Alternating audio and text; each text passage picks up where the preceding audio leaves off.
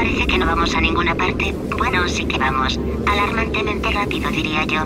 Pero como no tenemos nada más que hacer, te contaré un par de cosas. No es un cretino común. Es el producto de las mentes más preclaras de toda una generación, unidas con el objetivo expreso de crear al mayor cretino del mundo.